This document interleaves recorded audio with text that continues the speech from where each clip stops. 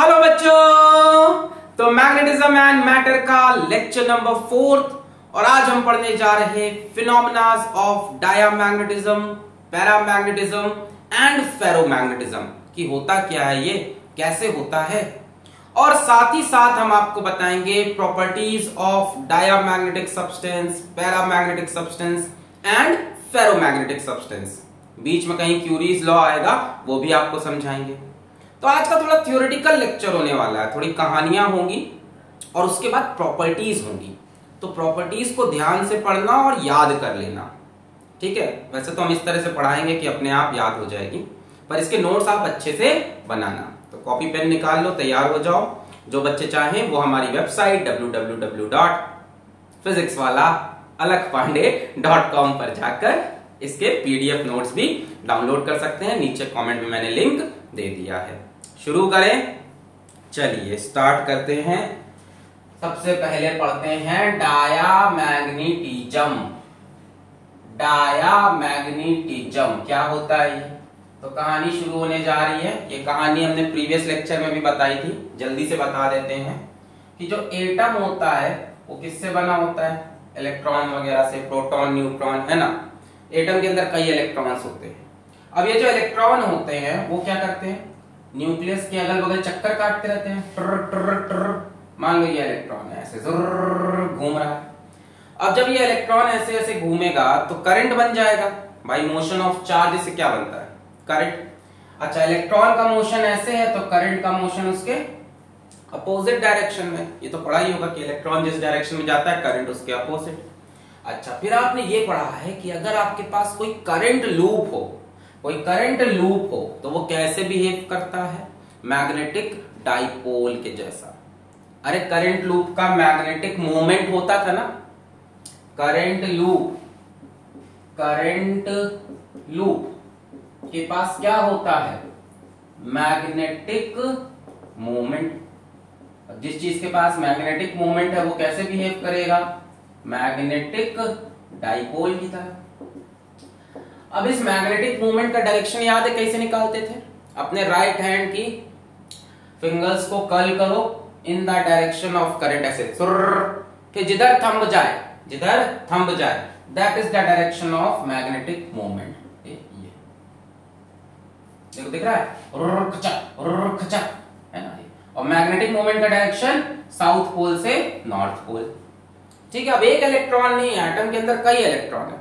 सबका अपना अपना मैग्नेटिक मोमेंट है। सब मैग्नेटिक डाइपोल बना रहे हैं। अब these magnetic moment these magnetic moments of electron are majorly responsible for magnetic moment of atom atom का जो मैग्नेटिक मोमेंट है बेसिकली यहीं से आता है। और भी कुछ फैक्टर्स हैं, पिछले लेक्चर में हमने बताया था। बट वो बहुत छोटे फैक्टर्स होते हैं इतना कंट्रीब्यूट नहीं करते। न्यूक्लियस का भी मैग्नेटिक मोमेंट होता है।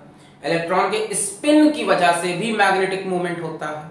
ये तो क्या है, चक्कर लगा रहा है। अपनी जगह पे घूमता भी रहता है ना स्पिन उसकी वजह से भी मैग्नेटिक मोमेंट है, पर वो सब कॉन्ट्रीब्यूट नहीं करता। कॉन्ट्रीब्यूट यही करता है।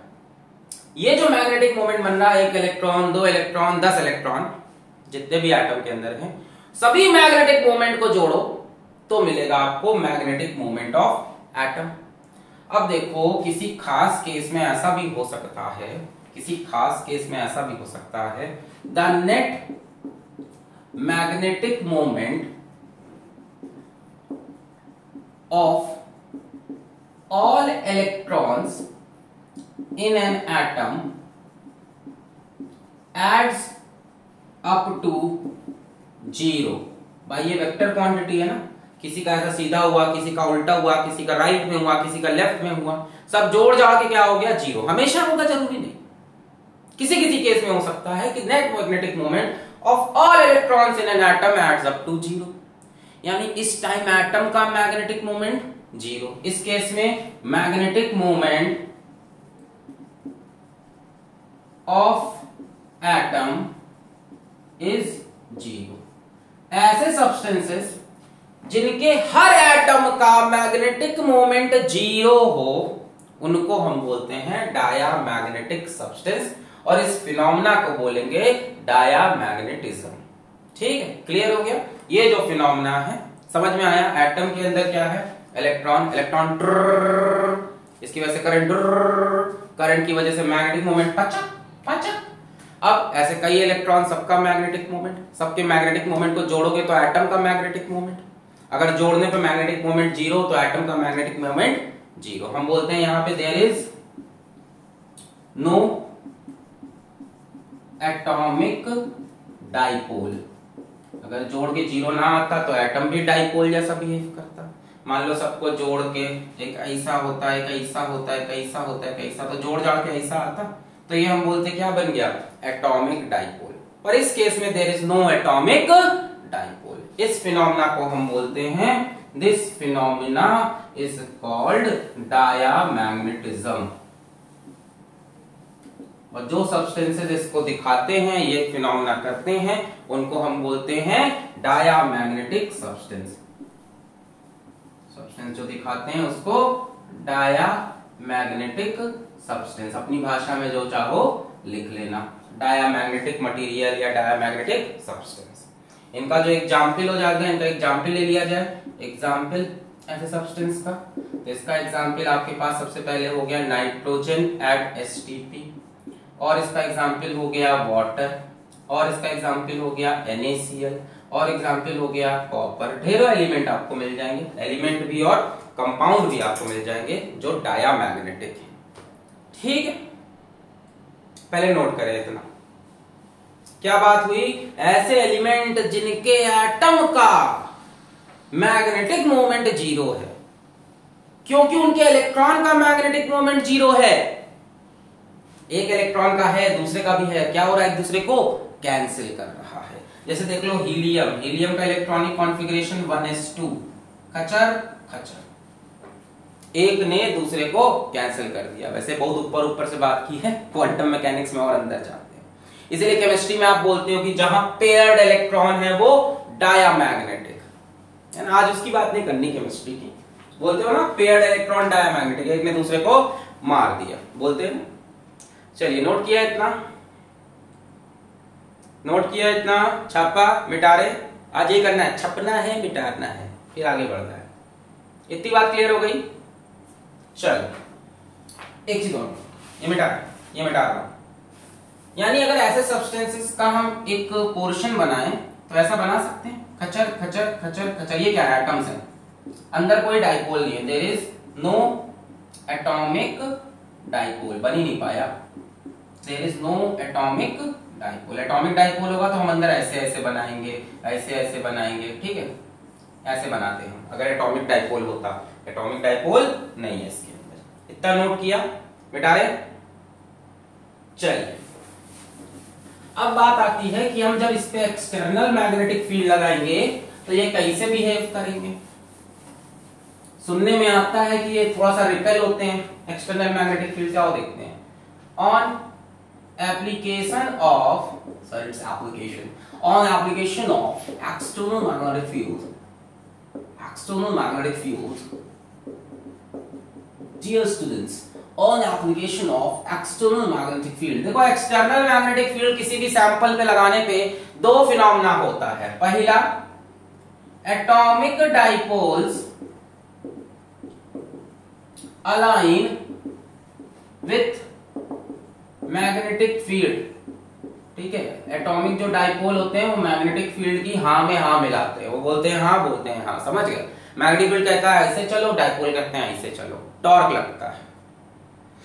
डाइपोल के ऊपर टॉर्क लगता है ना इलेक्ट्रिक फ़ील्ड में। अरे, मैग्नेटिक फ़ील्ड, इलेक्ट्रिक फ़ील्ड। बड़ा होगा ना जब इलेक्ट्रिक डाइपोल लगते हैं इलेक्ट्रिक फ़ील्ड में। तो क्या होता है? डाइपोल इलेक्ट्रिक फ़ील्ड के साथ हो जाता है। यही होता है मैग्नेटिक फ़ील्ड में मैग्नेटिक डाइपोल रखो तो मैग्नेटिक फ़ील्ड के साथ। और दूसरा फिनोमेना क्या होता है?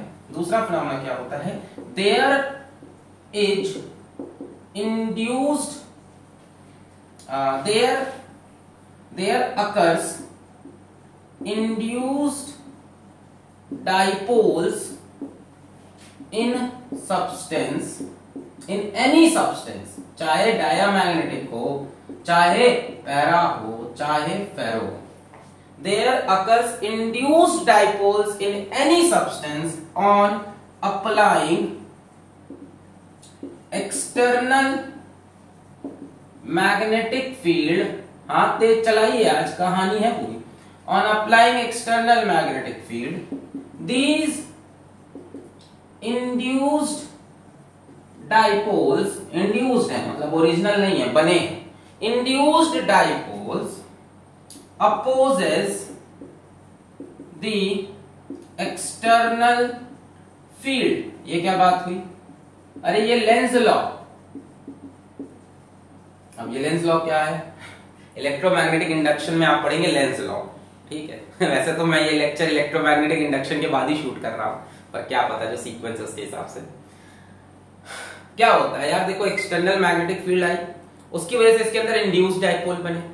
अब लेंस लॉ ये कहता है कि जो इंड्यूस की वजह से चीज़ होती है, जो भी इंड्यूस की वजह से जो भी चीज़ बनती है, वो अपोज करती है द कॉज प्रोड्यूसिंग इट मैंने बताया था ना son kills father Lenz's law son kills father जिसने इसको बनाया ये उसी को मारने पे उतारू हो गए।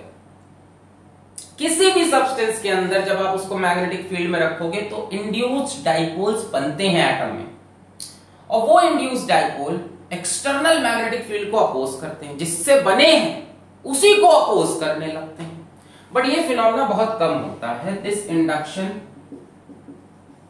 is very small कम होता है मतलब होता हमेशा है बट इसका जो इफ़ेक्ट है, वो बहुत कम होता है, इसका इफ़ेक्ट ज़्यादा होता है, पहले वाले का। ये मोर इफ़ेक्टिव फिनोमेना ये लेस इफ़ेक्टिव है। ना? आपने कोई मैग्नेटिक फ़ील्ड लगाई तो अंदर एक डाइपोल बना जो उसी मैग्नेटिक फ़ील्ड को अपोज करने लगेगा। होता सब में है।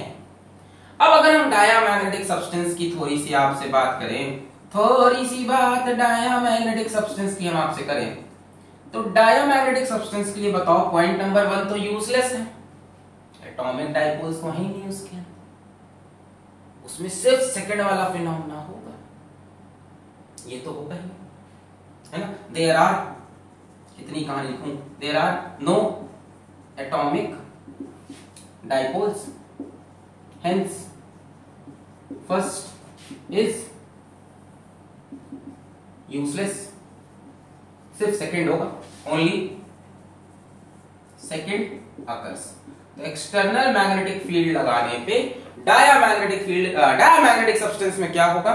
उसके अंदर डाइपोल बनेंगे इंड्यूस डाइपोल जो कि एक्सटर्नल मैग्नेटिक फ़ील्ड को अपोज करेंगे। थोड़ा सा मैं बना दे रहा हूँ डायग्राम मान लो एक्सटर्नल मैग्नेटिक फ़ील्ड ऐसे लगाई है हमने, ठीक है? अभी फ़ील्ड लाइंस पे ध्यान नहीं देना फ़ील्ड लाइंस अभी सिखाएँगे। फिर से बोल रहा हूँ, अभी फ़ील्ड लाइंस पे ध्यान नहीं देना फ़ील्ड लाइंस सिखाएँगे।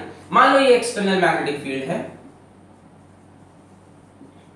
तो इसके अंदर क्या होगा, कुछ एटम्स होते हैं, वो इंड्यूस डाइपोल बना लेंगे छोटा छोटा बहुत ज़्यादा नहीं थोड़ा सा और वो इंड्यूस डाइपोल क्या करेगा, इस एक्सटर्नल को अपोज करेगा, इसके अपोजिट डायरेक्शन अब भाई ऐसा होगा तो बताओ, ये मैग्नेटिक फ़ील्ड में अट्रैक्ट होंगे कि रिपेल होंगे?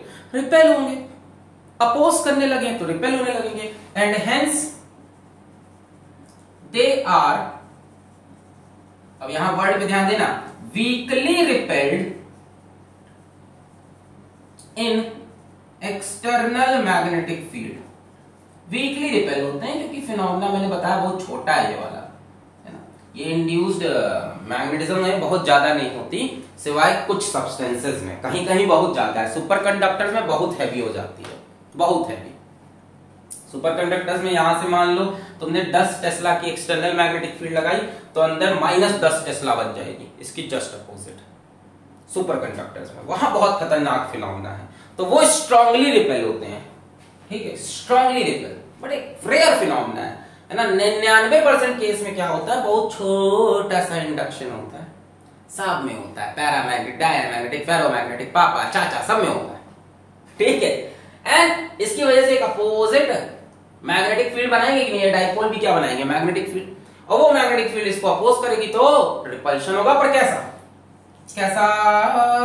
वीकली रिपल्ड थोड़ा सा रिपल्शन नोट करें, इसको फिर प्रॉपर्टीज़ पे आते हैं। प्रॉपर्टीज़ में इन्हीं पॉइंट को उठाएँगे, लिखेंगे और कुछ नई बातें बताएँगे। ठीक है? मज़ा आ रहा है? समझ में आ रहा है? हाँ समझ में तो आ रहा है। बेटा रहे पॉज करके छापो जल्दी से। छापो, फिर आगे लिखें। लिखें पॉज करके नोट कर लो। ओके नेक्स्ट हेडिंग लगाओ। Properties of diamagnetic substances very very important properties of diamagnetic substance properties of diamagnetic substances properties of diamagnetic substances ठीक है? चलो, जल्दी जल्दी लिखते हैं। First property there are no atomic dipoles इसका मतलब समझ गए? Net magnetic moment of each atom is zero. दिखाई पड़ रहा है ना ये सब बोर्ड पे छोटा छोटा net magnetic moment of each atom is zero second बात सेकेंड बात क्या होता है? अब इसको एक्सटर्नल मैग्नेटिक फ़ील्ड में रखोगे तो इंड्यूस डाइपोल बनेंगे जो कि अपोज करेंगे और ये वीकली रिपेल होंगे। They are weakly repelled weakly repelled in external magnetic field most of the time weakly repel ही होते हैं। कुछ एक्सेप्शनल केस होंगे बता देंगे। थर्ड अब बात करते हैं मैग्नेटिक सस्पेक्टिबिलिटी की। याद है? मैग्नेटिक सस्पेक्टिबिलिटी याद है इसके बारे में? जीटा। जीटा क्या होता था याद है? अरे जीटा ऐसे होता था। यहाँ देखो अभी मिटा देंगे। I is equal to zeta H ये क्या था? ये था मैग्नेटाइजेशन कि अंदर कितना मैग्नेटाइजेशन हुआ। और एच होता है मैग्नेटाइजिंग फ़ील्ड जो मैग्नेटाइज कर रही है। ये एक्सटर्नल ये इंटरनल नहीं समझे? एच क्या है? कितना मैग्नेटाइज कर रही है? आई कितना मैग्नेटाइज हुआ? एक बात बताओ आई एच के साथ होगा कि अपोजिट होगा? अपोजिट होगा? ये जीटा तो कांस्टेंट है मैग्नेटिक सस्पेक्ट ये कांस्टेंट है। फिर से एच क्या है? जो मैग्नेटाइज कर रही है वो फ़ील्ड जो मैग्नेटाइज कर रही है, वो फ़ील्ड आई क्या है? कितना मैग्नेटाइजेशन हुआ? तो आई और एच सेम डायरेक्शन में होंगे कि अपोजिट अपोजिट होंगे. है कि नहीं? एच मान लो ऐसे है एक्सटर्नल तो अंदर आई ऐसे बनेगा ना मैग्नेटाइजेशन इसको मैग्नेटाइजेशन वेक्टर बोलते हैं net magnetic moment per unit volume उतना नहीं जाना। आई और एच अपोजिट होंगे। आई अंदर जो मैग्नेटाइजेशन एच जो बाहर से फ़ील्ड लगाई। दोनों अपोजिट होंगे। तो भाई दोनों अपोजिट तभी हो सकते हैं जब जीटा कैसा हो नेगेटिव हो। जीटा नेगेटिव होगा तो आई एच का अपोजिट आएगा कि नहीं? एच ऐसे लगाया, अंदर मैग्नेटाइजेशन इसके अपोजिट अब एक बात बताओ, अंदर मैग्नेटाइजेशन बहुत ज़्यादा होना है कि कम होना है? कम होना है। बहुत कम मैग्नेटाइजेशन होता है इंड्यूस्ड वाला। यानी आई की वैल्यू छोटी भी रहनी है। एच चाहे जितना बड़ा हो आई की वैल्यू छोटी यानी जीटा नेगेटिव भी होगा एंड स्मॉल भी होगा। क्लियर हो गई बात? जीटा की वैल्यू बहुत छोटी होती है। नेगेटिव एंड स्मॉल, कितनी छोटी? अप्रोक्स अगर देख लो तो जीटा की value approx, zeta is nearly मान लो minus ten to the power minus three से minus ten to the power minus nine one वगैरह के आसपास। बहुत छोटी। Minus point zero zero zero one, minus point zero zero zero zero zero zero one. अलग अलग material के अलग अलग नेगेटिव समझ में आ रहा है? नेगेटिव होने से क्या होगा? जैसे मान लो इसकी वैल्यू हम लगा दें हज़ार ठीक है? जीटा की वैल्यू पकड़ लो माइनस टेन की पार माइनस थ्री एच लगाया हज़ार, जीटा माइनस टेन की पार माइनस थ्री तो आई की वैल्यू कितनी आ रही है? Ten power minus three ten power plus three cancel होगा माइनस वन यानी हज़ार लगाने पे अंदर कितना बन रहा? वन और माइनस उसके अपोजिट एकदम क्लियर हो गया होगा। कि अंदर बहुत ज़्यादा नहीं बनता, हज़ार बना, लगाने पे हज़ार नहीं बनता। बाहर से हज़ार लगाया तो अंदर भी हज़ार नहीं बनेगा पहली बात। और अंदर अपोजिट भी बनेगा। तो इसलिए जीटा की वैल्यू छोटी भी है, ताकि मैग्नेटाइजेशन कम हो, और नेगेटिव भी है, ताकि मैग्नेटाइजेशन अपोजिट डायरेक्शन में हो। क्लियर है? एक्सेप्शन बता दें इसका हम। इसका एक एक्सेप्शन है सुपर कंडक्टर सुपर कंडक्टर में गजब का मैग्नेटाइजेशन होता है। तगड़ा डायामैग्नेटिक मटेरियल बहुत तगड़ा डायामैग्नेटिक मटेरियल इनके लिए जीटा की वैल्यू माइनस वन बाप रे बाप। समझ रहे हो मतलब क्या हुआ? वहाँ हज़ार लगाया, ये माइनस हज़ार। स्ट्रांगली रिपेड वीकली नहीं स्ट्रांगली रिपेड सुपर कंडक्टर चौथा point relative permeability relative permeability याद है ये सब? म्यू आर फॉर्मूला बोलो। One plus zeta. अब जैसा कि तुम देख रहे हो, जीटा छोटा सा नेगेटिव क्वांटिटी है। तो वन में छोटी सी नेगेटिव क्वांटिटी माइनस करोगे तो क्या होगा? Mu R is slightly less than one slightly less than one zero point nine nine five zero point nine nine nine nine four ऐसे। है ना? भाई, जीटा क्या है? बहुत छोटी quantity most of the time ये था exception most of the time zeta बहुत छोटी क्वांटिटी और माइनस है तो वन में से छोटी सी क्वांटिटी हट जाएगी। ये कहानी क्लियर हो गई? ये कितना मैग्नेटाइजेशन हुआ? ये कितनी फ़ील्ड लगाई? तो फ़ील्ड लगाने पे छोटा सा मैग्नेटाइजेशन वो भी अपोजिट डायरेक्शन इसलिए नेगेटिव भी और छोटी वैल्यू भी। ये प्रॉपर्टीज़ हुई और बताओ प्रॉपर्टीज़ में क्या पढ़े हम? हाँ और होता है कि नॉन यूनिफॉर्म मैग्नेटिक फ़ील्ड रखने में क्या होगा? In non uniform magnetic field मान लो नॉन यूनिफॉर्म मैग्नेटिक फ़ील्ड में, मान लो नॉन यूनिफॉर्म मैग्नेटिक फ़ील्ड में आपने डायामैग्नेटिक सब्सटेंस रख दिया। Diamagnetic substance move from strong to weak field region भाई स्ट्रॉन्ग फ़ील्ड में रखोगे तो भागेगा रिपल्शन होगा। और रिपेल होते होते कहाँ पहुँच जाएगा? जहाँ फ़ील्ड वीक होगी। समझ रहे हो कि नहीं समझ रहे हो? अब मान लो कि तुम पढ़ाई लिखाई नहीं करते हो। मान लो, एकदम नहीं करते हो। और एक क्लास में घुसे हो। उसमें सबसे आगे एकदम पढ़ाकू बच्चे। उसके बाद थोड़े पढ़ाकू। पीछे एकदम सबसे कम पढ़ाकू, थोड़े बहुत मस्ती खोर वाले। तुम कहाँ पहुंचोगे? अगर हम तुमको पहली रो में छोड़ दें तो वहाँ रहना चाहोगे? नहीं, वो सब तो चश्मे वाले हो तो दिमाग खराब कर देंगे तुम्हारा। पीछे आओगे और मज़ा नहीं आ रहा। और पीछे आए, देखा वहाँ थोड़ी मस्ती है तो वहाँ पहुँच जाओगे। समझ गए? तो क्योंकि ये रिपेल होते हैं मैग्नेटिक फ़ील्ड से तो स्ट्रॉन्गर फ़ील्ड से किधर भागते हैं? वीक की तरफ़। समझ गए? जैसे आप रिपेल होते हो पढ़ने वाले बच्चों से तो आप ज़्यादा पढ़ने वाले बच्चों से कहाँ भागते हो? कम पढ़ने वाले बच्चों की तरफ़। वही कहानी है। They move from strong magnetic field to weak magnetic field region छठा point very important magnetic field lines अब मैं बना रहा हूँ। Field lines become more dense sorry become less dense in छाइट diamagnetic substance अब देखो जैसे ये डायामैग्नेटिक सब्सटेंस है। बाहर से आपने मैग्नेटिक फ़ील्ड लाइंस लगाई मैग्नेटिक फ़ील्ड लगाई, ठीक है? तो एक मैग्नेटिक फ़ील्ड लाइन चलो, माना अंदर से निकल गई। ठीक है? एक मैग्नेटिक फ़ील्ड लाइन माना इसके अंदर से निकल गई। कुछ तो निकलेंगी ही। आप एक्सटर्नल लगाओगे। बाकी क्या होगा? इसके अंदर छोटे छोटे डाइपोल बने होंगे, जो कि एक्सटर्नल मैग्नेटिक फ़ील्ड को अपोज करेंगे इंड्यूस डाइपोल कहेंगे, हम आने नहीं देंगे। हमारी मैग्नेटिक फ़ील्ड तुम्हारे अगेंस्ट है। है ना? तो मैग्नेटिक फ़ील्ड बाहर वाली ऐसे आएगी और ऐसे निकल जाएगी। बाहर वाली मैग्नेटिक फ़ील्ड लाइन ऐसे आई और ऐसे निकल गई। तो ध्यान से देखो इनके अंदर मैग्नेटिक फ़ील्ड लाइंस की डेंसिटी क्या हुई?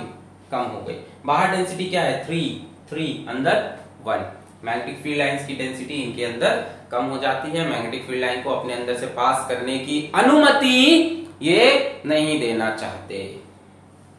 क्लियर है? एग्ज़ाम्पल मैंने बता ही दिया था। एग्ज़ाम्पल फिर से लिखना हो लिख लो। नाइट्रोजन एट एस और क्या बताया था मैंने? वाटर और क्या बताया था? NaCl और क्या बताया था? कॉपर नोट कर लें। सारी प्रॉपर्टी नोट कर लें, फिर इन्हीं प्रॉपर्टीज़ को हम पढ़ेंगे पैरामैग्नेटिक के लिए, कि वहाँ पे इसमें क्या होता है, यहाँ पे क्या होगा, इसकी वैल्यूज़ क्या होंगी मैग्नेटिक फ़ील्ड में किधर भागेगा फ़ील्ड लाइंस कैसी होती हैं, सबके लिए यही करना है। क्लियर है? डायमैग्नेटिक क्लियर हो गया वीकली रिपेल होते हैं, उनके अंदर कोई एटॉमिक डाइपोल नहीं होता net magnetic moment each atom का ज़ीरो होता है। वीकली रिपेल होते हैं। क्यों होते हैं? मैंने बताया क्योंकि इंड्यूस डायपोल बन जाता है। सस्पेक्टिबिलिटी इनकी नेगेटिव और स्मॉल एक्सटर्नल फ़ील्ड जैसे ही आती है तो अंदर एक छोटी सी फ़ील्ड बन जाती है, उसके अपोजिट तो अपोजिट के लिए नेगेटिव और स्मॉल वैल्यू ये एक्सेप्शन ये। Relative permeability one plus zeta. Zeta value negative है तो mu r will be slightly less than one छोटी से नेगेटिव कहाँ से कहाँ भागते हैं? स्ट्रॉन्ग से वीक मैग्नेटिक फ़ील्ड को पसंद नहीं करते। और मैग्नेटिक फ़ील्ड लाइन इनके अंदर घुस नहीं पाती, क्योंकि ये अपनी मैग्नेटिक फ़ील्ड लाइन बनाने की कोशिश करते हैं। नोट कर लिया? पॉज करके नोट कर लें। चलिए। अब चलते हैं पैरामैग्नेटिक सब्सटेंस पे। सारे कितनी कहानी बता रहे हो आज। इतना थियोरिटिकल लेक्चर मैंने कहा तो कि आज कहानियाँ हैं बट प्रॉपर्टीज़ पकड़ लो प्रॉपर्टीज़ आपको याद रहेगी। नेक्स्ट देखो। नेक्स्ट है पैरामैग्नेटिज्म। पैरामैग्नेटिज्म। अब इसमें क्या होता है पैरामैग्नेटिक सब्सटेंसेस में?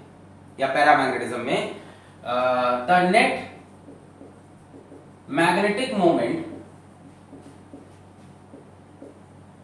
of all electrons in an atom do not add up to zero यानी यहाँ एटम डाइपोल की तरह बिहेव करेगा। हेंस एटॉमिक डाइपोल एग्जिस्ट इनके अंदर एटॉमिक डाइपोल होते हैं। कुछ ऐसे दिखेंगे ये। समझ में आया? डायमैग्नेटिक में क्या हुआ? कि एक एटम के अंदर जितने इलेक्ट्रॉन थे, किसी का डाइपोल मोमेंट ऐसा, किसी का ऐसा, किसी का ऐसा, सबका मैग्नेटिक मोमेंट अलग अलग तरफ़। कैंसिल होके ज़ीरो एक एटम का ज़ीरो किसका? एक एटम का। एक एटम के अंदर मान लो चार इलेक्ट्रॉन। तो सब इधर उधर जो जहाँ जो जहाँ किए। मिलाकर ज़ीरो। यहाँ पे क्या है? कि एक एटम के अंदर सारे इलेक्ट्रॉन मिला के मैग्नेटिक मोमेंट ज़ीरो नहीं कर रहे एटॉमिक डाइपोल एग्जिस्ट ठीक है, जैसे मान लो एग्जांपल के लिए मैंने सोडियम ले लिया। सोडियम का इलेक्ट्रॉनिक कॉन्फ़िगरेशन बताओ एटॉमिक नंबर इसका कितना होता है 11 configuration 1s2 2s2 2p6 3s1 यही होगा। 2 2 4 6 10 1 11 तो ये सब तो पेयर्ड है। केमिस्ट्री आती इतना समझ लोगे सब पेयर्ड है। सिर्फ़ ये अनपेयर्ड है। थ्री एस वाला। तो इसकी वजह से मैग्नेटिक मोमेंट बनेगा कि नहीं एटम का?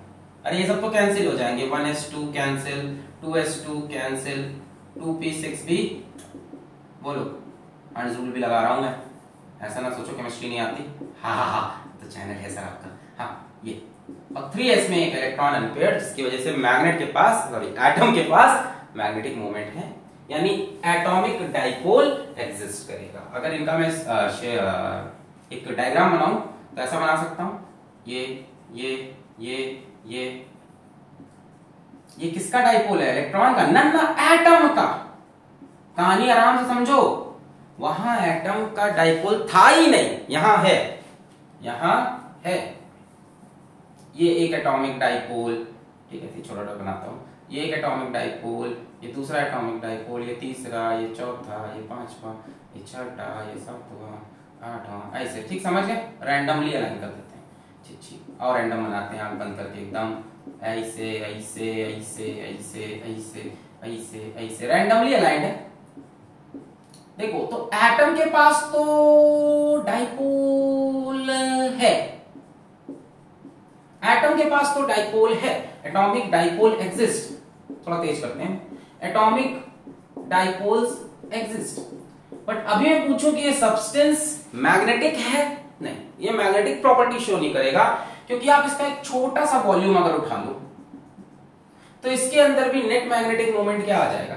ज़ीरो कुछ ऊपर, कुछ नीचे, कुछ दाएँ, कुछ बाएँ, है ना? यानी net magnetic moment of any small volume is still zero अभी भी ज़ीरो है। जबकि ये एटम का डाइपोल देखो डायमैग्नेटिक में एटम का डाइपोल ही नहीं था। इसके अंदर बोले बोले आइटम थे सिर्फ़ इस बार एटॉमिक डाइपोल तो आया। हाँ में बनेगा हाँ में बनेगा हाँ में बनेगा। सब एटम तैयार है। पर कोई आपस में अभी तालमेल नहीं है। कोई इधर तैयार, कोई उधर तैयार, कोई इधर तैयार। तो net magnetic moment of any small volume in any small net magnetic moment in any small volume is still zero अभी भी ज़ीरो है। तो अब क्या करेंगे? इसमें भी हम, इसमें भी हम एक्सटर्नल मैग्नेटिक फ़ील्ड लगाएँगे। On applying external magnetic field बताओ एक्सटर्नल मैग्नेटिक फ़ील्ड लगा के कौन कौन सा फिनोमेना होता है? एक तो डाइपोल्स अलाइन होंगे in the direction of field और एक इंड्यूस्ड डाइपोल बनेगा। कौन सा फिनोमेना ज़्यादा होता है? अलाइनमेंट वाला। इंड्यूस्ड वाला छोटा होता है। तो पैरामैग्नेटिज्म में ये डाइपोल्स अलाइन होते हैं और ये वाला फैक्टर डोमिनेट करता है इंड्यूस्ड मैग्नेटिज्म या इंड्यूस्ड डाइपोल मैं फिर से बोलता हूँ कि इंड्यूस्ड डाइपोल का फिनोमेना डायमैग्नेटिज्म पैरामैग्नेटिज्म फेरोमैग्नेटिज्म सब में हो रहा है। सब में हो रहा है, पर डायमैग्नेटिक सब्सटेंस में डाइपोल थे ही नहीं। तो अलाइनमेंट ही नहीं हुआ। यहाँ डाइपोल है तो अलाइनमेंट हो गया। और ये इफ़ेक्ट हमेशा ज़्यादा होता है एज कंपेयर टू इंड्यूस्ड वाला इफ़ेक्ट डायमैग्नेटिक में ये इफ़ेक्ट था ही नहीं। तो यहाँ क्या हुआ? On applying external magnetic field the atomic dipoles align with the direction of applied external magnetic field. और ये मैंने बताया क्यों होता है?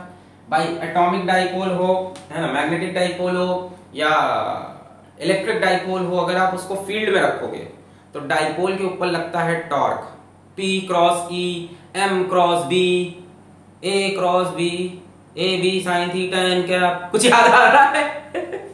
पी क्रॉस ई लगता था कि नहीं? टॉर्क इलेक्ट्रिक डाइपोल पे इन इलेक्ट्रिक फ़ील्ड और M cross B magnetic dipole पे इन मैग्नेटिक फ़ील्ड और इस टॉर्क का एक ही काम होता है कि डाइपोल को अलाइन कर दो फ़ील्ड के साथ। डाइपोल को घुमा के टॉर्क घुमाता है ना? घुमा के अलाइन कर दो फ़ील्ड के साथ, है ना? ये वाला इसको घुमा के भी इधर, इसको भी इधर। जैसे मान लो, ये सैंपल है, ठीक है? और ये एक्सटर्नल फ़ील्ड मैं फिर से बोल रहा हूँ फ़ील्ड लाइन अभी भी मैंने सही नहीं बनाई है। एक्सैक्ट फ़ील्ड लाइन थोड़ी देर बाद बताएँगे। एक्सटर्नल मैग्नेटिक फ़ील्ड अप्लाई की। फ़ील्ड लाइन थोड़ी बाद समझाएँगे, अभी तो कहानी समझो तो एक्सटर्नल मैग्नेटिक फ़ील्ड अप्लाई करने पे क्या हुआ कि डायपोल्स का अलाइनमेंट स्टार्ट हो गया फ़ील्ड के साथ, है ना? तो ये वाले घूम के ऐसे हो गया, थोड़ा सा ठीक है। ये घुमा टॉर्क लगा, ऐसे। ये घुमा के पूरा घुमाया, ऐसे हुआ। ये घुमा अच्छा ऐसा नहीं कि हंड्रेड परसेंट अलाइनमेंट उसके लिए तो बहुत मेहनत करनी पड़ेगी। अप्रॉक्स अलाइनमेंट होता है सब करीब करीब इसी डायरेक्शन में आने लगे। हंड्रेड परसेंट अलाइनमेंट को तो हम सैचुरेशन बोलते हैं। वो बहुत मुश्किल से अचीव होगा। नियर अबाउट अलाइनमेंट अब देखो ओवरऑल मैग्नेटिक मूवमेंट इस डायरेक्शन में हो गया। In the direction of external magnetic field ठीक है? Alignment can be increased alignment can be increased दो कहानी करो। पहली चीज़ एक्सटर्नल मैग्नेटिक फ़ील्ड बढ़ा दो। एक्सटर्नल मैग्नेटिक फ़ील्ड की जो स्ट्रेंथ है उसको बढ़ा दो। और स्ट्रॉन्ग मैग्नेटिक फ़ील्ड लगा दो। इन पे टॉर्क ज़्यादा लगेगा। टॉर्क का फॉर्मूला क्या होता है? एम क्रॉस बी एम होता है मैग्नेटिक मोमेंट बी होता है मैग्नेटिक फ़ील्ड तो बी की वैल्यू आप बढ़ा दो। टॉर्क ज़्यादा लगेगा और अच्छा अलाइनमेंट होगा। और दूसरा जो बात है, वो भी सुनो कि आप टेम्परेचर को कम कर दो। पूरी कहानी है। देखो टेम्परेचर ज़्यादा होगा तो इसमें क्या होगा? रैंडम मोशन एटम का जिगजैग टेम्परेचर ज़्यादा करो, टक टक टक टक टक। अब रैंडम मोशन से क्या होगा? अलाइनमेंट बिगड़ने लगेगा। अब इसी को सोचो, हम हीट करते हैं। हीट करने पे क्या होता है? मैग्नेटिज्म डिस्ट्रॉय हो जाती है। किसी मैग्नेट को खूब ढेर सारा हीट कर दो, आग में जला दो मैग्नेटिक प्रॉपर्टी खत्म। क्यों? हीट करोगे एटम फट फट फट फट फट। कोई इधर, कोई उधर कोई उधर कोई उधर। सारे अलाइनमेंट की ऐसी तैसी हो जाएगी। इसीलिए हम बोल रहे हैं टेम्परेचर कम करो। टेम्परेचर कम करो। आ, ये सुकून से अलाइन होके बैठे, एकदम मास। समझ रहे टेम्परेचर कम ऐसे उछल नहीं रहे। जिधर मैग्नेटिक फ़ील्ड ले जा रही, उधर जा रहे। तो alignment can be increase by increasing external magnetic field strength हाइशा! या बाय लोअरिंग टेम्परेचर काम। क्लियर अच्छा अब ऐसा हो गया, ये फ़ील्ड के साथ अलाइन हो गए तो बताओ ये फ़ील्ड को रिपेल करेंगे कि फ़ील्ड में अट्रैक्ट होंगे? जल्दी से बताओ भाई। अट्रैक्ट होंगे। उसी के साथ हो गए। अब कोई रिपल्शन की बात ही नहीं so they are so they are weakly attracted paramagnetism ये फिनोमेना पूरा पैरामैग्नेटिज्म का फिनोमेना समझ गए? यहाँ पे फिनोमेना था पैरामैग्नेटिज्म का तो। कि जहाँ पे एटॉमिक डाइपोल एग्जिस्ट करे बट ओवरऑल मैग्नेटिक फ़ील्ड अभी भी मैग्नेटिक मोमेंट या मैग्नेटिक फ़ील्ड अभी भी अंदर ज़ीरो हो किसी भी स्मॉल वॉल्यूम में। बट एक्सटर्नल मैग्नेटिक फ़ील्ड लगाने के बाद अब मैग्नेटिक मोमेंट ज़ीरो नहीं है। इसके बाद ये सुनो। Now magnetic moment in any volume is not zero ये तो समझ ही गए हो गया अब कोई भी वॉल्यूम उठा लो मैग्नेटिक मोमेंट किसी एक पर्टिकुलर डायरेक्शन में है इज़ नॉट ज़ीरो ऐसे सब्सटेंस को बोलते हैं पैरामैग्नेटिक सब्सटेंस और इस फिनोमेना को बोलते हैं पैरामैग्नेटिज्म डायमैग्नेटिज्म क्या था? जिसमें एक एटम के अंदर सारे इलेक्ट्रॉन एक दूसरे का खून खराबा करके एटम को मैग्नेटिक मोमेंट ना दें एटॉमिक डाइपोल ना बनने दें। पैरामैग्नेटिज्म में इलेक्ट्रॉन में थोड़ी दोस्ती यारी रहेगी एटम को एक एटॉमिक डाइपोल बनने देंगे। पर फिर भी वो ऐसे अलाइन होते हैं randomly dipoles are randomly align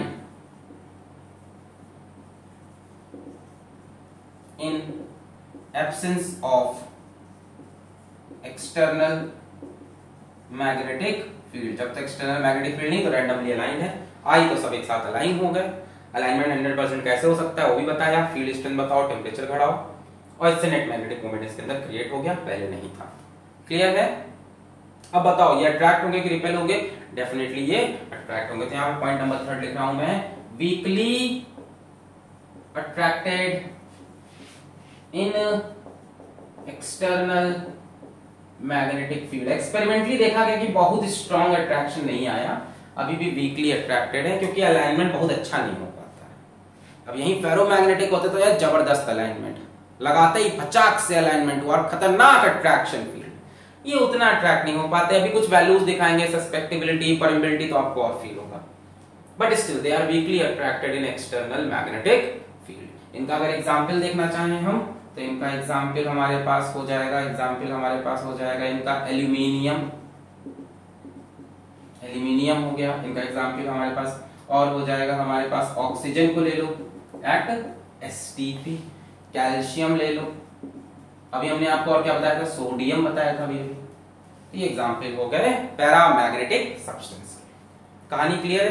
क्या यहाँ पे इंड्यूस डाइपोल नहीं बन रहा है? बन रहे हैं बट उसका इफ़ेक्ट बहुत कम है। इंड्यूस डाइपोल भी बने होंगे थोड़े बहुत बट उनका इफ़ेक्ट बहुत कम होगा। नोट कर लें इसको। फिर इनकी प्रॉपर्टीज़ पढ़ते हैं। आज हमने दिल का हर किस्सा तमाम कर दिया। खुद भी पागल हो गए। मिटा रहे हैं? पॉज करके नोट करो। छाप लिया? ओके उनको भी पागल कर दिया। चलिए नेक्स्ट हेडिंग लगाइए। Properties of paramagnetic substances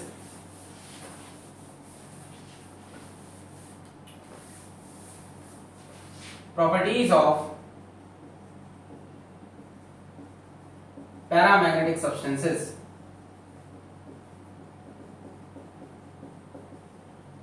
ठीक है?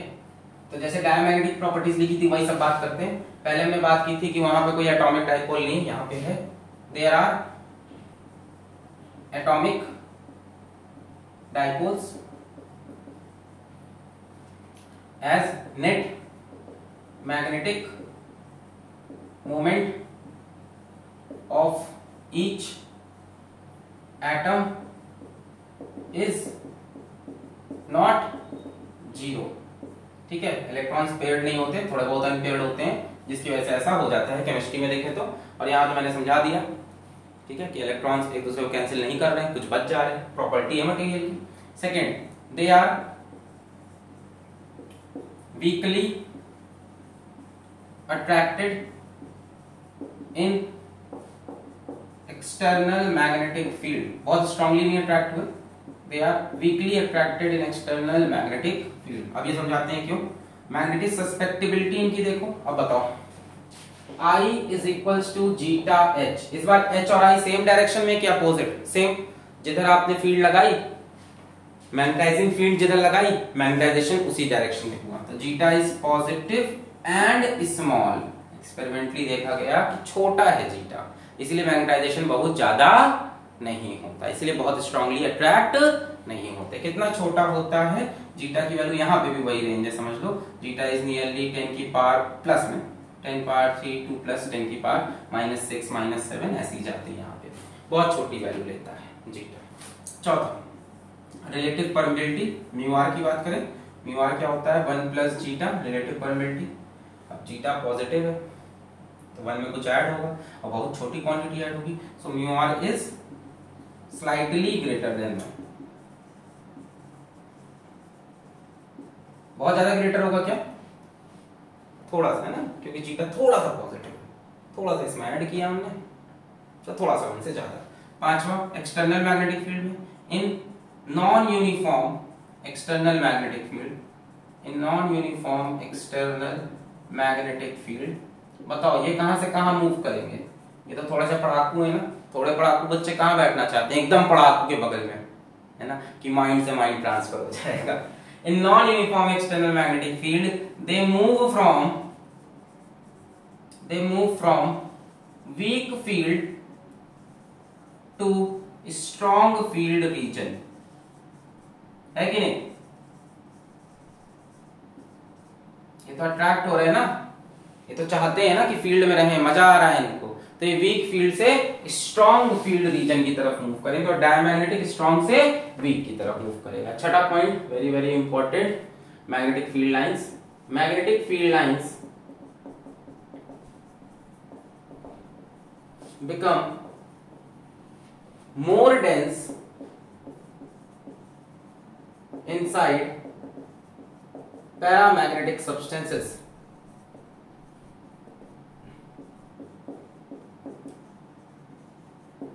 ठीक है? मैग्नेटिक फ़ील्ड लाइन इसके अंदर और ज़्यादा हो जाएँगी, क्योंकि आपने देखा कि ये मैग्नेटिक फ़ील्ड को अपोज नहीं कर रहा, उसको सपोर्ट कर रहा है। इसके अंदर जो डाइपोल्स बन रहे हैं वो एक्सटर्नल मैग्नेटिक फ़ील्ड को सपोर्ट कर रहे हैं कि हम भी तुम्हारे साथ हैं। तो अंदर जो मैग्नेटिक फ़ील्ड बनी और जो बाहर बनी एक ही डायरेक्शन में। तो यहाँ ओवरऑल मैग्नेटिक फ़ील्ड का स्ट्रेंथ बढ़ जाएगा। और मैग्नेटिक फ़ील्ड का स्ट्रेंथ जब बढ़ता है तो मैग्नेटिक फ़ाइल फ़ील्ड लाइंस पास पास आ जाती हैं, है ना? डेंस हो जाती हैं। थोड़ा सा मेरी जवान यहाँ पे स्लिप कर गई, आप समझ रहे हैं कि नहीं? है ना? थोड़ा सा फ्रिक्शन कोफिशिएंट कम रहा होगा। Mu is equals to point zero zero five हो गया होगा। वापस आते हैं। तो मैं क्या बोल रहा था कि इसके अंदर जो डाइपोल्स का अलाइनमेंट है, वो मैग्नेटिक फ़ील्ड के साथ है। तो अंदर मैग्नेटिक फ़ील्ड बढ़ जाएगी तो मैग्नेटिक फ़ील्ड लाइंस पास पास हो जाएँगी। मैग्नेटिक फ़ील्ड लाइंस ही तो बताते हैं कि मैग्नेटिक फ़ील्ड कितनी है। जहाँ फ़ील्ड लाइंस पास मैग्नेटिक फ़ील्ड ज़्यादा। तो यहाँ क्या होगा बाहर वाली फ़ील्ड लाइन जो इसे जाना चाह रही थी, मान लो इसके ऊपर से जाना चाह रही थी, उसको भी अंदर खींच लेंगे। चलो हमारे अंदर से। ये वाली फ़ील्ड लाइन जो बाहर जिसको, चलो अंदर से। ये वाली फ़ील्ड लाइन चलो अंदर से। ये फ़ील्ड लाइन चलो अंदर हमारे। समझ हो? कि जितनी भी मैग्नेटिक फ़ील्ड लाइन इसके आसपास दिखेगी, कोशिश करेगा उनको अपने अंदर से पास कराने की। बाहर देखो डेंसिटी थोड़ी कम है, बाहर फ़ील्ड लाइन दूर दूर है। बाहर फ़ील्ड लाइन दूर दूर है इतने एरिया में देखो सिर्फ़ तीन फ़ील्ड लाइन यहाँ इतने एरिया में चार फ़ील्ड लाइन इतने एरिया में तीन फ़ील्ड लाइन यहाँ अंदर चार। चार क्या पाँच? एक, दो, तीन, चार, पाँच। समझ गए? अच्छा एक और बात होती है इसमें बड़ी इंपॉर्टेंट पैरामैग्नेटिज्म या पैरामैग्नेटिक प्रॉपर्टी decreases ऐसे लो paramagnetic property is inversely is inversely चलो ऐसे लिखते हैं वेरी सॉरी मैग्नेटाइजेशन ऑफ़ बस बस, पक्का इस बार। Magnetisation of paramagnetic substance is inversely proportional to absolute temperature. ये बात मैंने आपको पहले ही बता दी, अगर आप ध्यान दो। मैंने बताया था कि अलाइनमेंट किस पे डिपेंड करता है? एक्सटर्नल मैग्नेटिक फ़ील्ड पे और टेम्परेचर पे। भाई अलाइनमेंट होगा तभी तो मैग्नेटाइजेशन होगा अंदर। तो ये यही तो बोल रहे हैं कि magnetization is inversely proportional to absolute temperature temperature बढ़ाओगे magnetisation कम होगा. Magnetization of paramagnetic substance is inversely proportional to absolute temperature यही क्यूरीज लॉ बन जाएगा. बहुत कॉमन सी बात है यार. आप टेम्परेचर बढ़ा दो, अंदर एटॉमिक डाइपोल टुटुक टुटुक टुटुक टुटुक जितना अलाइनमेंट हुआ है, सबकी ऐसी तैसी हो जाएगी. यानी मैग्नेटाइजेशन जो है, वो टेम्परेचर बढ़ाने पे खराब हो जाता है। Magnetisation of paramagnetic substance is inversely proportional to absolute temperature equation में लिखता हूँ, समझ में आए तो खुश होना। I is equals to C B not by T I होता था मैग्नेटाइजेशन वेक्टर बी नॉट होता था मैग्नेटिक फ़ील्ड टी है एब्सोल्यूट टेम्परेचर सी को बोलते हैं क्यूरीज कांस्टेंट नहीं समझे। अरे ये कहानी समझो, बाकी सब कांस्टेंट आई और टी। आई है कि अंदर कितना मैग्नेटाइजेशन हुआ? टी है temperature in kelvin absolute temperature समझते हैं ना? इन टेम्परेचर जितना बढ़ाओगे मैग्नेटाइजेशन उतना कम। टेम्परेचर बढ़ाया, इधर उधर भागे मैग्नेटाइजेशन कम। मैग्नेटाइजेशन तब अच्छा होता है जब सब एक साथ हो। टेम्परेचर बढ़ाओगे मैग्नेटाइजेशन कम हो जाए। इसको एक तरह से और लिखा जाता है, किताबों में, जरा वो भी देख लो। आई की बच्चों जो वैल्यू होती है आई की जो वैल्यू होती है, कहाँ लिखू कहाँ लिखू कहाँ लिखू, कहाँ जगह कहाँ जगह कहाँ जगह यहाँ लिख देते हैं। थोड़ी सी फ़ील्ड लाइंस को एडजस्ट करो। आई की जो बच्चों वैल्यू होती है आई होता है जीटा एच अभी बताया था। और बी नॉट होता है म्यू नॉट एच जरा यहाँ सब्सटीट्यूट करो दोनों को। आई की जगह जीटा एच और सी बी नॉट की जगह म्यू नॉट एच इस तरह से ज़्यादा पॉपुलर है ये लॉ अपॉन टी ठीक है? आई की जगह जीटा एच बी नॉट की जगह म्यू नॉट एच यहाँ से H H cancel zeta is equals to zeta is equals to C mu not by T इसको बोलते हैं क्यूरीज लॉ अधिकतर किताबों में यही दिया रहता है। इसको बोलते हैं Curie's law this is called Curie's law देखो, ये भी वही चीज़ बता रहा है। आई की जगह जीटा एच लिखा बी नॉट की जगह म्यू नॉट एच लिखा। एच एच कैंसिल हो गया आई की जगह जीटा एच बी नॉट की जगह mu naught H H H cancel ये भी वही चीज़ बता रहा है। टेम्परेचर बढ़ाओगे जीटा की वैल्यू और कम हो जाएगी। भाई जीटा की वैल्यू कम हो गई तो ये और छोटा हो गया, और छोटा हो गया तो मैग्नेटाइजेशन और कम होगा। क्लियर है? Magnetic susceptibility is inversely proportional to temperature और टेम्परेचर किसमें होना चाहिए? इन केल्विन एब्सोल्यूट टेम्परेचर ठीक है? ये है क्यूरीज लॉ। टेम्परेचर बढ़ाने पे जो सस्पेक्टिबिलिटी है, वो कम हो गई। कम हो गई भाई ये तो मैग्नेटाइजेशन भी कम हो जाएगा। क्लियर है? अच्छा क्यूरीज लॉ का एक लिमिटेशन भी है। लिमिटेशन क्या है बच्चों? मान लो टेम्परेचर बहुत कम है। मान लो टेम्परेचर बहुत कम है और एक्सटर्नल फ़ील्ड बहुत स्ट्रांग है। जितना अलाइनमेंट हो सकता था, उतना अलाइनमेंट हो गया। हंड्रेड परसेंट अलाइनमेंट हो गया। क्या? मैंने बोला temperature is very low magnetic field is very strong जितना अलाइनमेंट हो सकता था, हो चुका है। अब बताओ, अगर अब मैं टेम्परेचर को कम करूँ तो जीटा बढ़ेगा। सैचुरेशन आ चुका है, अब कैसे? नहीं समझे। भाई वो क्या रहा है टेम्परेचर कम करने पे क्या हो रहा है? अलाइनमेंट अच्छा होता जा रहा है। टेम्परेचर कम करने पे अलाइनमेंट अच्छा अच्छा अच्छा अच्छा। एक पॉइंट पे हंड्रेड परसेंट अलाइन हो चुके हैं वो।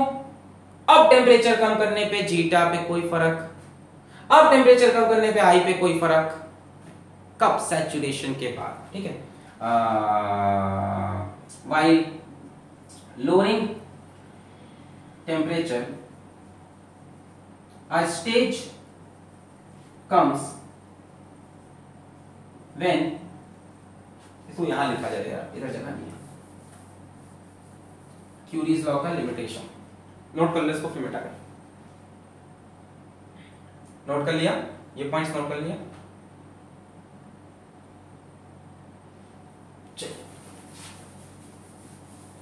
हाँ। सेवन पॉइंट को कंटिन्यू कर रहे on lowering temperature a stage comes when 100% dipoles 100% atomic dipoles are aligned perfectly with external magnetic field. This is called saturation. Saturation आ चुका है। जितना मैग्नेटाइजेशन हो सकता था, उतना मैग्नेटाइजेशन हो चुका है। After this Curie's law after this Curie's law is invalid सबको कहानी समझ में आ गई? 100 परसेंट अलाइनमेंट होने के बाद आप टेम्परेचर कितना भी कम करो, क्या फ़ायदा? क्या आई अब बढ़ सकता है? बताओ। क्या इसके बाद आई बढ़ सकता है? नहीं। तो अब अगर आप टेम्परेचर कम करोगे तो जीटा इंक्रीज नहीं करेगा। इज़ इनवैलिड इसका मतलब zeta won't increase on decreasing temperature पहले ये हो रहा था। पहले आप टेम्परेचर कम कर रहे थे अलाइनमेंट बढ़िया होता जा रहा था। होते होते हंड्रेड परसेंट अलाइनमेंट हो गया। अब आप टेम्परेचर कम करोगे, जीटा के ऊपर कोई फ़र्क नहीं पड़ेगा। This is the limitation of Curie's law clear और सिर्फ़ टेम्परेचर से नहीं मैग्नेटिक फ़ील्ड से भी हो सकता है। आप बढ़िया मैग्नेटिक फ़ील्ड लगा दो। एक बढ़िया सी मैग्नेटिक फ़ील्ड लगा दो हंड्रेड परसेंट अलाइनमेंट हो चुका है। एक बार 100% अलाइनमेंट ये सिचुएशन अगर आ गई when 100% atomic dipoles are aligned perfectly with external magnetic field, Curie's law is invalid. Saturation आने के बाद इनका कोई मतलब नहीं। ये सब चीज़ें वैलिड है बिफोर सैचुरेशन अब सैचुरेशन आप टेम्परेचर से लाओ। टेम्परेचर कम कर करके। या सैचुरेशन आप एक्सटर्नल मैग्नेटिक फ़ील्ड लगा के ले आओ। तगड़ी मैग्नेटिक फ़ील्ड लगा दो। सारे डाइपोल्स 100 परसेंट अलाइन हो जाएँगे। बढ़िया टॉर्क लगेगा। अब इसके बाद टेम्परेचर कम करने से मैग्नेटाइजेशन नहीं बढ़ेगा, जीटा की वैल्यू नहीं बढ़ेगी। तो ये लॉ वैलिड है before saturation when 100 percent alignment is not done note कर लें इसको। यहाँ खत्म होती है प्रॉपर्टीज़ ऑफ़ पैरामैग्नेटिक सब्सटेंस इसके बाद हम उठाते हैं फेरोमैग्नेटिक सब्सटेंस क्लियर है क्यूरीज लॉ ये है क्यूरीज लॉ सी को बोलते हैं क्यूरीज कांस्टेंट सी को बोलते हैं क्यूरी का कांस्टेंट क्यूरीज कांस्टेंट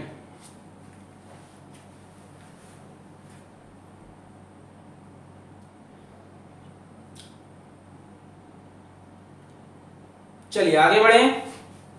ओके तो पैरामैग्नेटिक मटेरियल समझ में आए? इनके अंदर एटॉमिक डाइपोल होता है वीकली अट्रैक्ट होते हैं। वीकली अट्रैक्ट होते हैं तो जीटा की value small positive mu R की value slightly greater than one magnetic field है इनके अंदर थोड़ी सी डेंस और नॉन यूनिफॉर्म मैग्नेटिक फ़ील्ड में कहा से कहा जाएँगे? वीक से स्ट्रॉन्ग की तरफ़। और टेम्परेचर डिपेंडेंट भी हैं। क्यूरीज लॉ से पता चला, zeta is equal to C mu not by T mu not होता है एब्सोल्यूट परमिएबिलिटी वहाँ पे म्यू नॉट लिखा था ना? Absolute permeability mu not by T temperature कम करने से जीटा बढ़ेगा मैग्नेटाइजेशन बढ़ेगा but after a certain limit ऐसा होना बंद हो जाएगा, क्योंकि 100% अलाइनमेंट हो चुका है। एग्ज़ाम्पल इसके हमने क्या क्या बताया आपको? एग्ज़ाम्पल हमने आपको ऑक्सीजन बताया एट एस सोडियम बताया कैल्शियम बताया और एल्यूमिनियम बताया। अब आते हैं अपन फेरोमैग्नेटिज्म पे। सब में कुछ कुछ नया हो रहा है ना, अब इसमें भी कुछ नया होगा। फेरोमैग्नेटिज्म देखो इसमें क्या है। इसमें भी एटॉमिक डाइपोल्स होते हैं just like paramagnetism atomic dipoles exist अच्छा ऐसा लगता है ना कि फेरोमैग्नेटिज्म पैरामैग्नेटिज्म का ही एक इनहैंस्ड केस है। ऐसा है भी। कहानी पूरी वही है। Atomic dipoles exist just like paramagnetic substance यानी यहाँ पे भी नेट मैग्नेटिक मोमेंट ज़ीरो नहीं है एक एटम का. बट यहाँ एक कहानी में ट्विस्ट है. ट्विस्ट क्या है? ट्विस्ट क्या है? The atomic dipoles interact with each other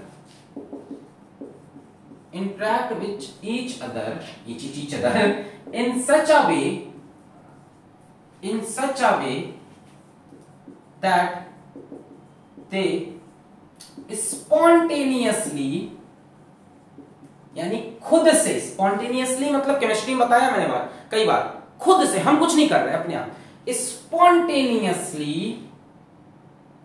spontaneously align in same direction in small volumes called domains. ये होती है डोमेन थ्योरी ऑफ़ फेरोमैग्नेटिज्म यही डिफरेंस है फेरोमैग्नेटिज्म और पैरामैग्नेटिज्म में। वहाँ पे भी इलेक्ट्रॉन्स का मैग्नेटिक मोमेंट ऐड करने पे ज़ीरो नहीं हो रहा था एक एटम के लिए। कहानियाँ हैं सर। और यहाँ पे भी इलेक्ट्रॉन्स का मैग्नेटिक मोमेंट ऐड करके ज़ीरो नहीं हो रहा एक एटम के लिए। पर यहाँ पे कुछ नई चीज़ है the atomic dipoles interact with each other आपस में इंटरैक्ट करते हैं। क्वांटम मैकेनिक्स का फिनोमेना हम नहीं समझाएँगे उसको। इंटरैक्ट करते हैं। समझाने का ना समय है, ना पॉसिबिलिटी है, ना मुझे इतने अच्छे से आता है phenomena in such a way that they spontaneously align in same direction in small volumes मतलब मतलब क्या है? मतलब डायग्राम समझ में आएगा। इसके अंदर डोमेन एग्जिस्ट करते हैं। इसके अंदर डोमेन एग्जिस्ट करते हैं। डोमेन बना हुआ है इसके अंदर डोमेन मान लो ये डोमेन काट दिया मैंने, ठीक है? इसे बहुत बड़ा बड़ा डोमेन नहीं होता, बहुत छोटा छोटा होता है। ऐसे हम दिखा रहे डोमेन इन डोमेन्स के अंदर जो एटॉमिक डाइपोल हैं, वो सब एक डायरेक्शन में अलाइंड है। इसके अंदर वाले सब इधर अलाइंड है। इसके अंदर वाले मान लो सब इधर अलाइंड है। है ना? यानी एक एक डोमेन का अपना अपना मैग्नेटिक मोमेंट होता है। हर डोमेन का अपना अपना मैग्नेटिक मोमेंट है। कुछ समझ में आ रहा है? मैंने बना दिया एक को राइट एक को लेफ़्ट ऐसा होता नहीं है। हज़ारों डोमेन, करोड़ों डोमेन होते हैं, है ना? जो डोमेन साइज़ होता है, जो डोमेन साइज़ होता है, वो वन मिलीमीटर होता है है ना? और एटम्स इन वन डोमेन या एटम्स इन ईच डोमेन वो होते हैं करीब करीब टेन की पावर इलेवन के आसपास। इसके अंदर टेन की पावर इलेवन एटम्स हैं, जो एक ही डायरेक्शन में अलाइंड है। ये एक टीम है, ये दूसरी टीम ये तीसरी टीम ये चौथी टीम ऐसे करोड़ों टीम मिलके बनता है ferromagnetic substance and this phenomena and this phenomena is called ferromagnetism क्या डिफरेंस है फेरोमैग्नेटिज्म और पैरामैग्नेटिज्म में? वहाँ पे भी एटॉमिक डाइपोल थे, यहाँ पे भी एटॉमिक डाइपोल वहाँ पे भी इलेक्ट्रॉन्स का मैग्नेटिक मोमेंट मिला के ज़ीरो नहीं, यहाँ पे भी ज़ीरो नहीं। पर वहाँ पे सारे डाइपोल्स इधर उधर ऐसे वैसे तिरछे मिर्चे पड़े थे, यहाँ नहीं। यहाँ अंदर छोटे छोटे राज्य बने हुए हैं डोमेन छोटे छोटे राज्य बने राजाओं के। ये सब इधर भाग रहे, ये सब इधर, ये सब इधर, ये सब इधर। अब देखते हैं एक्सटर्नल मैग्नेटिक फ़ील्ड लगाने पे क्या होगा। On applying external magnetic field इसमें एक नया फिनोमेना होता है। बताते हैं। एक्सटर्नल मैग्नेटिक फ़ील्ड क्या होगा? सारे डाइपोल्स क्या होंगे? मैग्नेटिक फ़ील्ड के डायरेक्शन में अलाइन हो जाएँगे। जिस फ़ील्ड जिस तरफ़ फ़ील्ड का डायरेक्शन होगा। पर इसमें तरीका अलग है। एक्सटर्नल मैग्नेटिक फ़ील्ड क्या होता है? इसके अंदर डोमेन ग्रोथ होता है। डोमेन ग्रोथ में क्या होगा? जैसे मान लो मैग्नेटिक फ़ील्ड मैंने ये ठीक है। यहाँ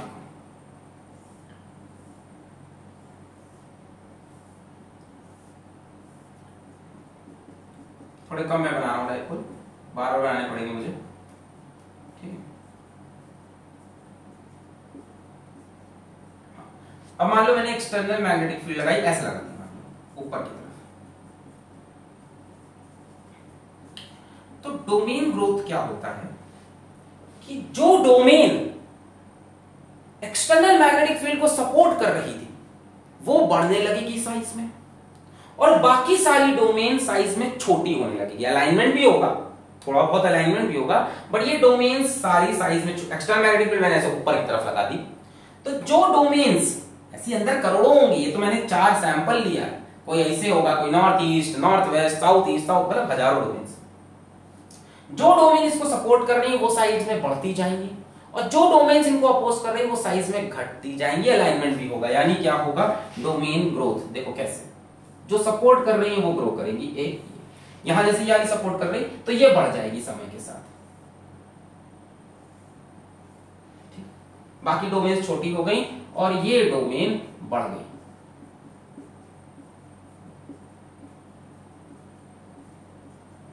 थोड़ा बहुत अलाइनमेंट भी होगा, थोड़ा सा अलाइनमेंट भी दिखाते हैं आपको। ऐसा नहीं है, थोड़ा सा तो इस पर टॉर्क लग ही रहा है। अलाइनमेंट वगैरह भी चल रहा है थोड़ा थोड़ा ठीक है? थोड़ा ये भी टेढ़े हो रहे हैं, कोशिश कर रहे हैं, चलो हम उनके ताल से ताल मिलाते हैं। ये भी थोड़ा उठने की कोशिश कर रहे हैं, चलो हम भी ताल से ताल मिलाते हैं, इसे पे थोड़ा उठे, ये थोड़ा सा तिरछे हुए। और ग्रोथ हुई डोमेन की, समय के साथ, ये एक्सटर्नल फ़ील्ड है। समय के साथ और ग्रोथ हुई, और समय के साथ क्या सब इंसिडेंट होता है? ऐसा नहीं, पर ये ऑब्ज़र्व किया गया है डोमेन ग्रोथ क्वांटम लेवल पे ये चीज़ प्रूव हो चुकी है। ये हो गया। अब ये डोमेन पूरी तरह से ग्रो कर गई है। यानी इसने बाकी सारी डोमेन्स को अपने कब्जे में ले लिया, एक तरह समझ सकते हो। और ये जो वाली थी सब छोटे छोटे हो गए, कि अब अपोज करने वाले बहुत कम बचे हैं इसको। ठीक है? अपोज करने वाले बहुत कम बचे हुए हैं, ऐसा। क्लियर इसको बोलते हैं डोमेन ग्रोथ जिधर एक्सटर्नल मैग्नेटिक फ़ील्ड लगाई उस तरफ़ की डोमेन ग्रो की, बाकी सारी डोमेन छोटी हो गई। ये भी क्वांटम मैकेनिक्स का फिनोमेना है, आपको बहुत डिटेल में नहीं जानना। अब मुझे बताओ कि एक्सटर्नल मैग्नेटिक फ़ील्ड के साथ है कि नहीं है? साथ अच्छा इसमें वो इंड्यूस मैग्नेटिज्म होगा। बहुत छोटा फिनोमेना है। इफ़ेक्ट बहुत ज़्यादा नहीं ओवरऑल साथ में मैग्नेटिक फ़ील्ड बनेगी।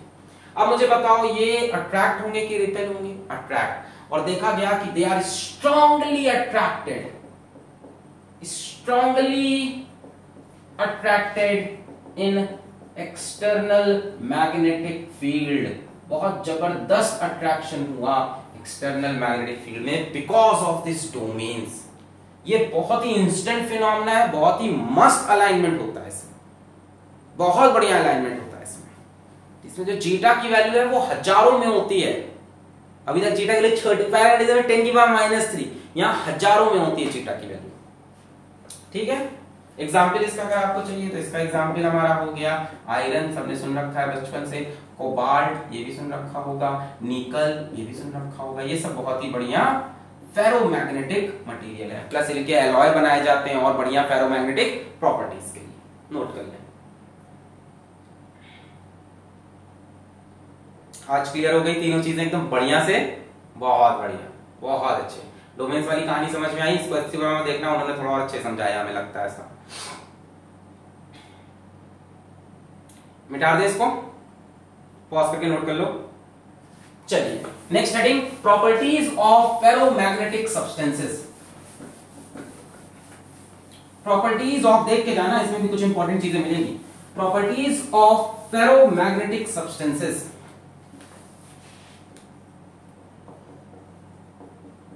properties of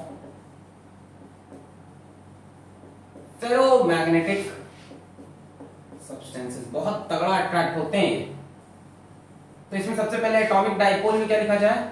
Atomic dipoles exist and are aligned in and are aligned in same direction in small volumes जिनको हम क्या कहते हैं? कॉल्ड डोमेन्स तो इसमें डोमेन थ्योरी बहुत इंपॉर्टेंट है।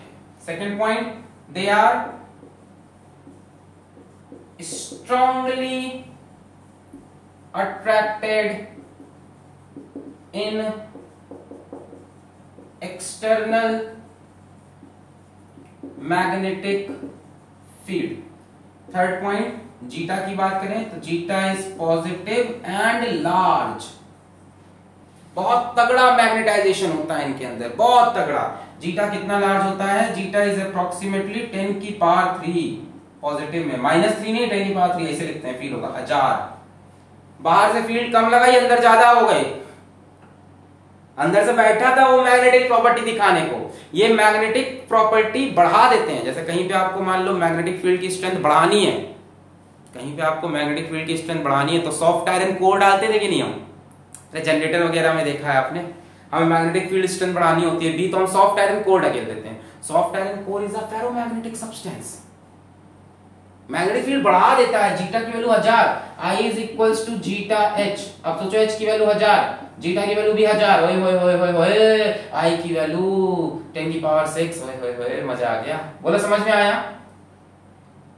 फोर्थ पॉइंट क्या बात करना? Mu R mu R is one plus zeta. ये हज़ार तो ये भी हज़ार। Mu R is very large यही बोल सकते हैं इसमें तो बहुत बड़ा म्यू आर। अच्छा और बात करें कि क्या होगा? नॉन यूनिफॉर्म फ़ील्ड में इन सब तो बकवास बातें हैं। In non uniform field they they spontaneously एकदम खटाक से spontaneously move from weak to बोलो strong field region magnetic field lines की बात करनी है इसके बाद तो मैग्नेटिक फ़ील्ड लाइंस क्या होंगी इनके अंदर? डेंस हो जाएँगी। मैग्नेटिक फ़ील्ड लाइंस बढ़ जाती है इसके अंदर, बहुत ज़्यादा होगी। Six magnetic field lines become very dense inside ferromagnetic substances.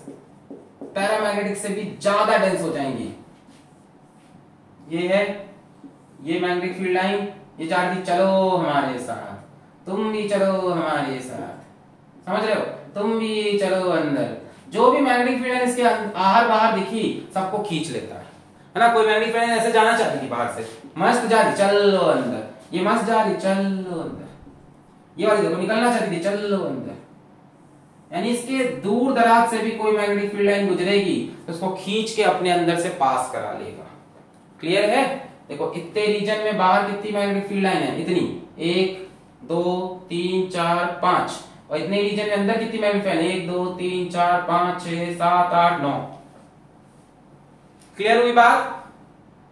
Very strong seven point एक बड़ा इंपॉर्टेंट पॉइंट है जो सोचते हैं लोग और जो बताया भी जाता है कि एक्सटर्नल मैग्नेटिक फ़ील्ड हटाने पे they retain the property of magnetism ऐसा ट्रू नहीं है।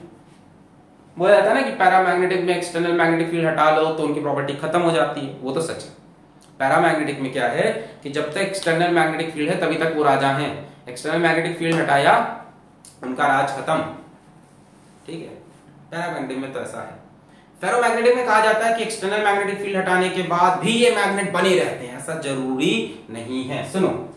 On removing external magnetic field दो चीज़ें हो सकती हैं। ए ए मैग्नेटाइजेशन परसिस्ट कि अभी भी मैग्नेटाइजेशन है। किसका? फेरोमैग्नेटिक मटेरियल का। On removing external magnetic field two things can अरे ठीक है, समझे on removing external magnetic field दो चीज़ें हो सकती हैं कि मैग्नेटाइजेशन अभी भी उसके अंदर हो। अगर मैग्नेटाइजेशन परसिस्ट करता है तो हम बोलते हैं हार्ड फेरोमैग्नेटिक मटेरियल बहुत तगड़ा फेरोमैग्नेटिक मटेरियल बनाया है आपने। ठीक है, इसका एग्जांपल है अल्सीनो अल्सीनो ये एक एलॉय है aluminium copper alnico very sorry alnico alnico very sorry aluminium nickel copper और कोबाल्ट का एक एलॉय है। क्या है? Alloy of aluminium, nickel, copper and cobalt. दिखाई पड़ रहा है? Alloy of aluminium, nickel, cobalt and copper. इनका एक एलॉय है अल्नीको। ये इतना बढ़िया फेरोमैग्नेटिक मटेरियल है कि एक बार इसको मैग्नेटाइज किया, एक बार एक्सटर्नल मैग्नेटिक फ़ील्ड लगाई उसके बाद एक्सटर्नल मैग्नेटिक फ़ील्ड हटाई मैग्नेटाइजेशन परसिस्ट ऐसे मटेरियल्स को हम परमानेंट मैग्नेट भी बोलते हैं। परमानेंट मैग्नेट कि एक बार मैग्नेट बन गए तो जीवन भर बने रहेंगे। ठीक?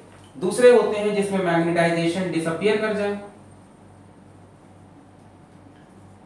मैग्नेटाइजेशन डिसअपियर एक बार फ़ील्ड हटाई मैग्नेटाइजेशन डिसअपियर कर दिया, है ना? उनको हम डिसअपियर कर दिए। तो इसको हम बोलते हैं soft ferromagnetic material soft ferromagnetic material इनका एग्ज़ाम्पल हो गया हमारे पास सॉफ्ट आयरन ये हमारे टेम्परेरी मैग्नेट बन गए। ठीक है? नोट कर ले। नोट करें, इतना एक पॉइंट और बचा है टेम्परेचर से रिलेशन फेरोमैग्नेटिक प्रॉपर्टीज़ का। ये बात क्लियर हो गई? इसका बड़ा र्यूमर होता है ना कि एक्सटर्नल मैग्नेटिक फ़ील्ड हटाने के बाद भी फेरोमैग्नेटिक सब्सटेंस हमेशा मैग्नेटिज्म की प्रॉपर्टी को गेन किए रहते हैं। ऐसा ज़रूरी नहीं है। अगर गेन किए हैं तो हार्ड फेरोमैग्नेटिक अगर छूट गई प्रॉपर्टी तो सॉफ्ट फेरोमैग्नेटिक एग्जांपल इसका alnico alloy of aluminium nickel cobalt and copper और इसका एग्जांपल सॉफ्ट है एक लास्ट पॉइंट देखिए टेम्परेचर के बारे में। ये सब नोट कर ले पहले आप, फिर मैं इधर की चीज़ें मिटा हूँ जीटा इसका बहुत बड़ा, तगड़ी मैग्नेटाइजेशन म्यू आर भी बहुत बड़ा, तगड़ी मैग्नेटाइजेशन मिटा रहे ओके टेम्परेचर के साथ थोड़ी कहानी को देखते हैं।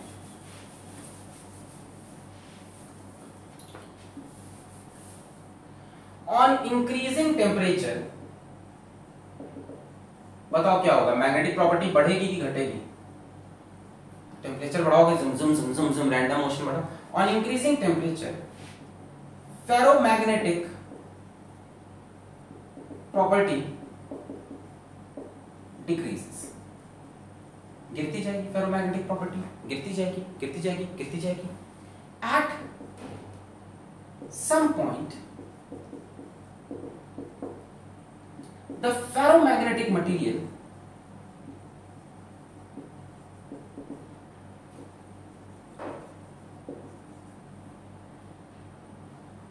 starts behaving like paramagnetic material बोलो, बात समझ में आई? आप टेम्परेचर बढ़ाते जा रहे हो, बढ़ाते जा रहे हो, बढ़ाते जा रहे हो। वो बढ़िया मैग्नेटाइजेशन दिखा रहा था, दिखा रहा था। आप टेम्परेचर बढ़ा रहे हो जिग्जैग मोशन होते होते होते होते होते। उसकी मैग्नेटिज्म गिरते गिरते गिरते गिरते। किसके बराबर होने लगी? पैरामैग्नेटिक मटेरियल ऐसा लग रहा था कि वो मटेरियल अब फेरोमैग्नेटिक है ही नहीं। वो तो पैरामैग्नेटिक है। टेम्परेचर बढ़ाते बढ़ाते एक टाइम ऐसा भयानक टेम्परेचर आपने बढ़ा दिया। कि ये वाटर से स्टीम बन गया। समझ रहे आपने इतना टेम्परेचर बढ़ा दिया कि वाटर से स्टीम बन गया, कि ये फेरोमैग्नेटिक मटेरियल से पैरामैग्नेटिक बन गया। इसको बोलते हैं transition of phase phase transition phase transition ठीक है? ये कोई ऐसा फिनोमिना नहीं खचक से हो गया। एक पर्टिकुलर टेम्परेचर पे ये होता जाएगा होता जाएगा होता जाएगा, और फेरोमैग्नेटिक मटेरियल पूरा किसमें कन्वर्ट हो जाएगा? पैरामैग्नेटिक में। Ferromagnetism converts to para magnetism at some temperature called TC इसको हम बोलते हैं क्यूरीज टेम्परेचर ठीक है? At some temperature on increasing temperature बढ़ाते बढ़ाते बढ़ाते बढ़ाते एक टाइम ऐसा समय आया कि फेरोमैग्नेटिक मटेरियल की मैग्नेटिक प्रॉपर्टी इतनी कम हो गई कि वो पैरामैग्नेटिक लगने लगा। उसकी सारी प्रॉपर्टी पैरामैग्नेटिक मटेरियल की हो गई। और ऐसे टेम्परेचर को हम बोलते हैं Curie's temperature this temperature is called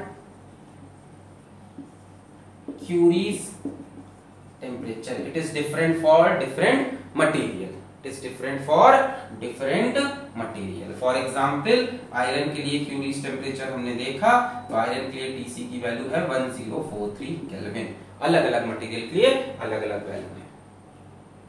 After Curie's temperature material becomes बोलो क्या? Para magnetic and now, zeta and now अब ये सोचो इसके बाद भी आप टेम्परेचर बढ़ाते जाओ। सपोज़ आपका दिल नहीं भरा ना उसकी जान ही निकाल लो बेचारा बढ़िया फेरोमैग्नेटिक सब्सटेंस तुमको किसी ने दिया। टेम्परेचर बढ़ा। फेरोमैग्नेटिज्म से क्या बन गया? पैरामैग्नेटिक फिर भी आपने उसकी जान नहीं छोड़ी। और टेम्परेचर बढ़ा रहे हो। और टेम्परेचर बढ़ाओगे तो क्या होगा? डायमैग्नेटिक बन जाएगा। हाँ कह सकते हो। धीमे धीमे उसकी प्रॉपर्टी और खराब होने लगेगी मैग्नेटिक की। यानी उसकी सस्पेक्टेबिलिटी और कम होने लगेगी। So after curious temperature material becomes paramagnetic now on increasing temperature ये होगा। Zeta is equal to C upon T minus T C where T is greater than T C समझाते हैं। जीटा मैग्नेटिक सस्पेक्टेबिलिटी टी अब जो आप temperature लगा रहे हैं, जो कि टीसी से डेफिनेटली बड़ा है सी क्यू इज़ कांस्टेंट मान लो आयरन का केस लें, एक हज़ार तिरालीस केल्विन पार हो गया। अब आप पहुँच गए, इसको थोड़ी देर के हज़ार मानते हैं, थोड़ा कैलकुलेशन आसान करते हैं। मान लो आप ग्यारह सौ पहुँच गए तो ग्यारह सौ माइनस हज़ार, सौ। मान लो आप बारह सौ पे गए, बारह सौ माइनस हज़ार, दो सौ। आप पंद्रह सौ पंद्रह सौ माइनस हज़ार, पाँच सौ। जैसे जैसे ये बढ़ता जाएगा ना डिफरेंस जीटा और घटता जाएगा। बात क्लियर हो रही होगी कि ये क्या, ये तो क्यूरीज लॉ है in another form Curie's law in another form but इसको आप क्यूरीज लॉ एग्जैक्टली नहीं बोलते हो। क्यूरीज लॉ बोलते हैं प्योर पैरामैग्नेटिक सब्सटेंस के लिए। क्या ये प्योर पैरामैग्नेटिक सब्सटेंस है? ये फेक पैरामैग्नेटिक है। ये फेरोमैग्नेटिक था टेम्परेचर इतना हाई हो गया कि बेचारा पैरामैग्नेटिक तरह बिहेव कर रहा है। इसके हालात इतने खराब है। कि ये पैरामैग्नेटिक बन गया। तुम किसने किया? तुमने। हम्म, हम्म, हम्म, करके अभी तुम और टेम्परेचर बढ़ाओगे तो इसका जीटा और गिरेगा इस रिलेशन से। ये टेम्परेचर बढ़ाते जाओ जीटा कम होता जाए। क्लियर है? तो यहाँ पे फेरोमैग्नेटिज्म भी खत्म होता है और ये टॉपिक इंटायरली समाप्त होता है। अब इसमें बचा है एक छोटा सा टॉपिक हिस्टेरिसिस कर्व तो उसको ही पढ़ेंगे अगले लेक्चर में। पढ़ाई करते रहे। All the very best